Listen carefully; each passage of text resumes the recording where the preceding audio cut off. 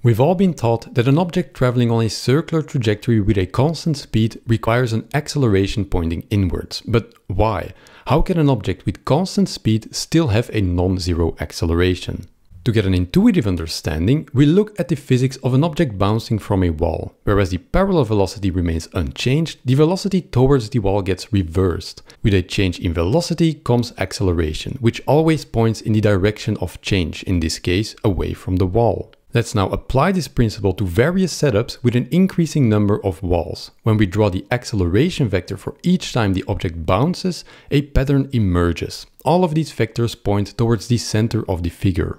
And if we then keep adding walls, eventually the setup will approximate a circle along which our object travels and exhibits the same familiar pattern. And thus we arrive at the conclusion that circular motion requires acceleration to constantly change the direction of velocity without changing its speed.